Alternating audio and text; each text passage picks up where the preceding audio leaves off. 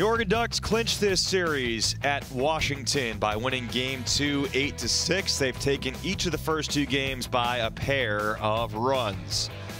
Quicker start today, though, for Washington and Will Simpson with a four RBI game for the Huskies. Well, he was in the open for us, and uh, Oregon knew they had to control him, and they just couldn't. Now, not only did he have a couple of hits today, his first at bat was a bullet to left field as well.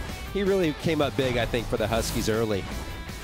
But then uh, Oregon on the comeback trail gets a two-run shot from their leading hitter, Colby Shade. No doubt about it. I mean, this guy, he, he's their hottest hitter right now. He's a big, big guy. We're going to hear more from him later in the game. Shade really came through. As you see later here, Oregon gets it going again. In the eighth against Stephen Raitt, the excellent Washington closer. Nowitzki with a run-scoring single.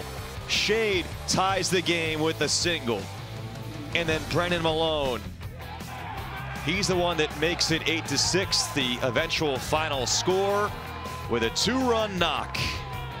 And Oregon was able to hold on to that lead 8 to 6. The bats showing up in a big way. 13 hits for Oregon. Isaac Ayon ejected in the fifth for hitting Johnny Tincher, but the Ducks offense rallying late, and Oregon wins this series with a game coming tomorrow at 2.